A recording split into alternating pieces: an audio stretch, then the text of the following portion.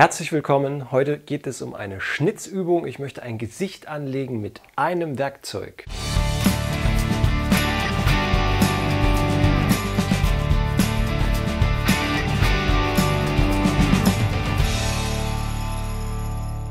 Schön, dass du eingeschaltet hast. Ich verwende den Stich 11 6 mm hauptsächlich zum Anlegen und den Stich 11 3 mm für die feinen Arbeiten.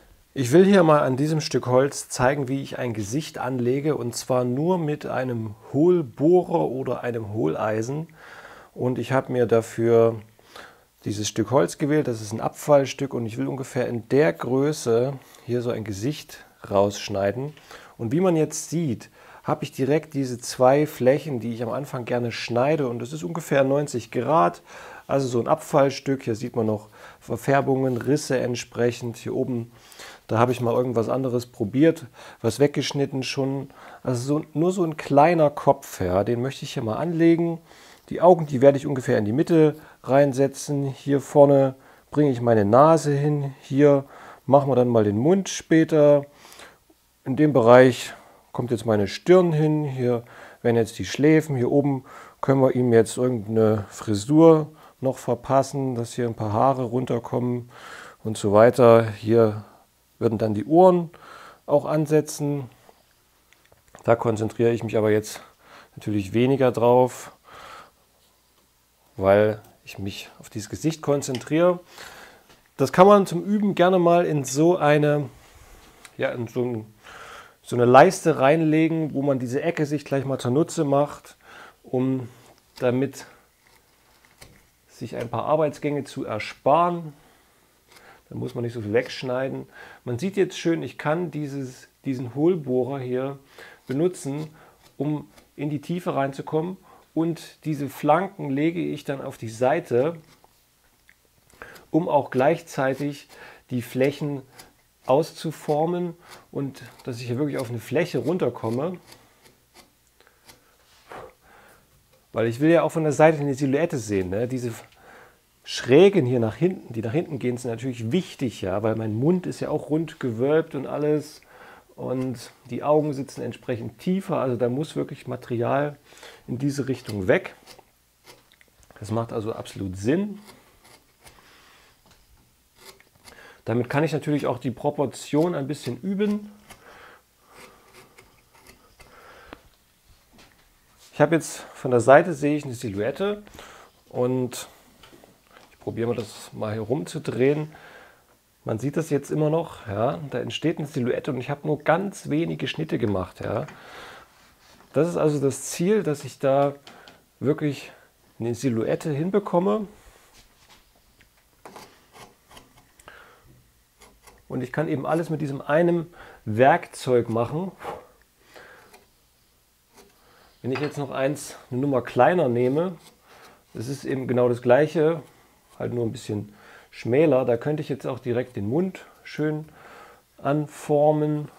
Ja, umrande den hier so ein bisschen.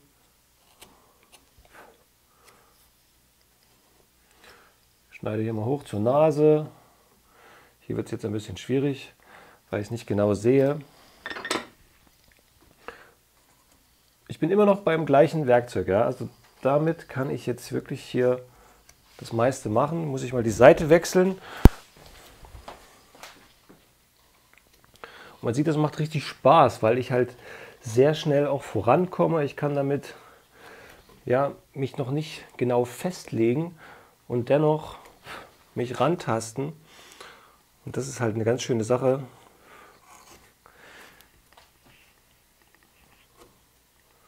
Wenn ich halt gerade scharfe Stiche mache, dann muss ich mich ja viel ja, genauer konzentrieren, besser festlegen. Ich kann damit ein paar grobe Schnitte machen. Ich kann damit mal was anlegen. Ich kann jetzt hier die Haare so ein bisschen andeuten damit.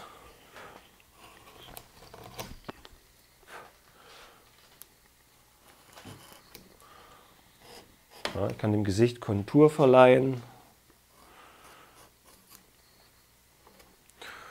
Immer schön mit dieser Flanke arbeiten, dass ich damit wieder neue Flächen ausarbeiten kann. Dann kann ich natürlich auch hier in diesen Schläfenbereich damit so ein bisschen reinschneiden noch.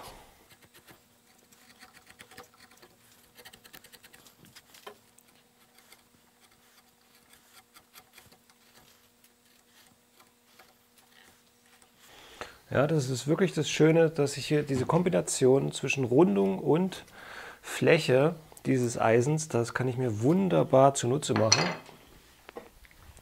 Wenn ich jetzt hier etwas genauer werden will, nehme ich heute den kleineren. Ja.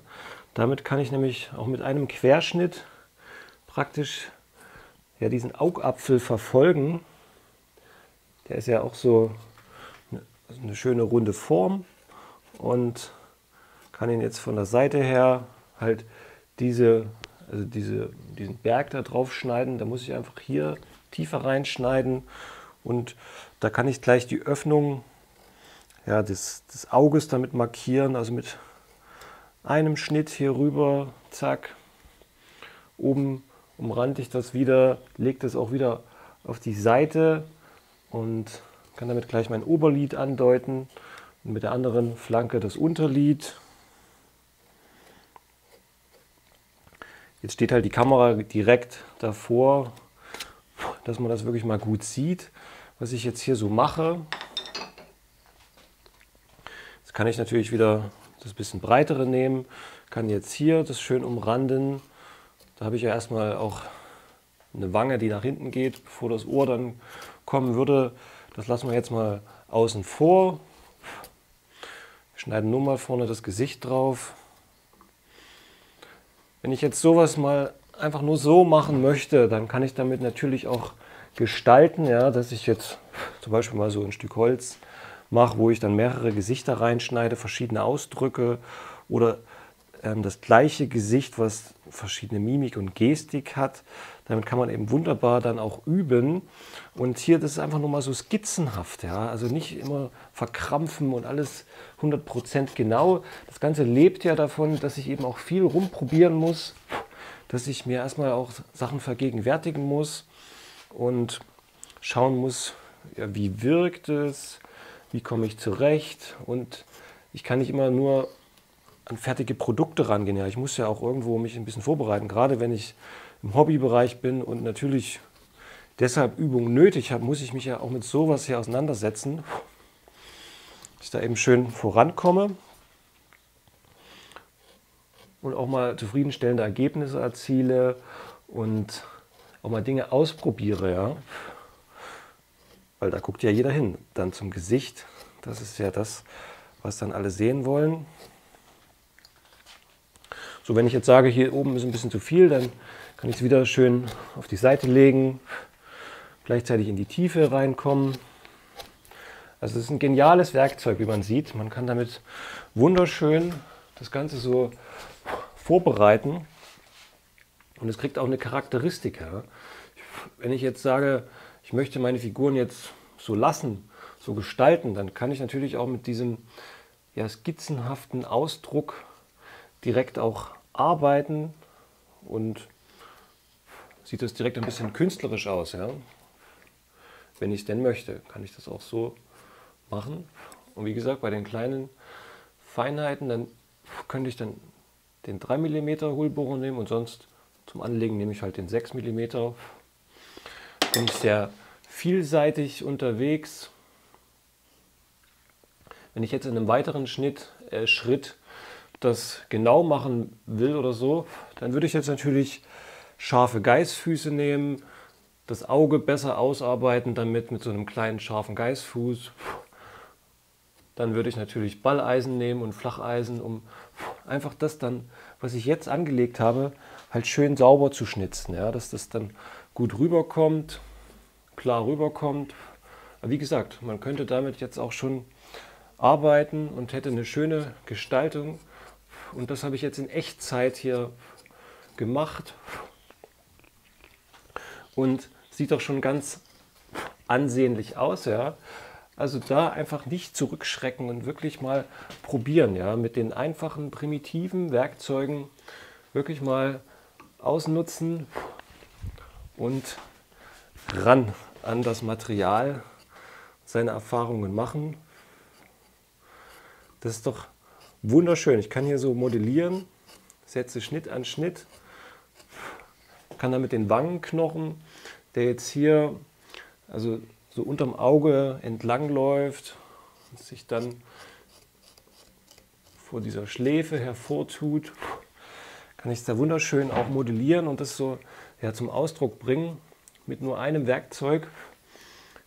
Ganz tolle Formgebungen auch machen. Ob ich jetzt damit einen Hund oder ein Gesicht ausarbeite, ja, in der Formgebung, das ist jetzt egal. Ne? Damit kann man eben wunderbar ganz viel machen. Und man ist auch nicht so vom Material abhängig. Ja? Das, man möchte ja da immer gerne längs zur Phase glatte Schnitte machen, aber hier kann ich eben auch schön querschneiden. Das geht wunderbar. Die lassen sich auch ganz einfach nachpolieren und schärfen und so weiter. Diese Hohlbohrer. Das kriegt eigentlich dann jeder hin, die auch scharf zu machen. Kann man wunderbar mit so kleine Sachen anlegen, ausarbeiten. Ja, wenn dich das interessiert, kannst du natürlich auch hier gerne ja, so einen Kurs belegen und dann kann ich dir genauer erklären, wie du damit zurechtkommst. Wir können das Schärfen üben. Wir können natürlich auch solche Gesichter in Serie schnitzen, dass du ein paar übst und so ein bisschen Ausdruck hinbekommst. Du könntest auch modellieren. Also guck auf meine Webseite, da kannst du gerne so einen Kurs buchen oder mir schreiben. Können wir da auch gerne ins Gespräch kommen. Dankeschön, dass du mit dabei warst und zugeschaut hast. Gib dem Ganzen gerne einen Daumen nach oben, wenn dir das weitergeholfen hat. Schreib auch gerne unter das Video, was du mitgenommen hast, was man anders machen kann oder was du mit diesen Werkzeugen gemacht hast. Schreib das gerne unter das Video. Wir können auch gerne miteinander darüber ein bisschen diskutieren und so weiter. Oder folge mir auch gerne auf Facebook oder Instagram, findest du entsprechend unter dem Video auch verlinkt dann würde ich dir natürlich noch empfehlen, diesen Kanal zu abonnieren, dass du keine dieser Videos mehr verpasst. Unter dem Video ist der Button zum Folgen. Das Ganze ist natürlich für dich klar kostenlos. Ja, dann würde ich mich freuen, dich nächste Woche wiederzusehen zu einem neuen Video.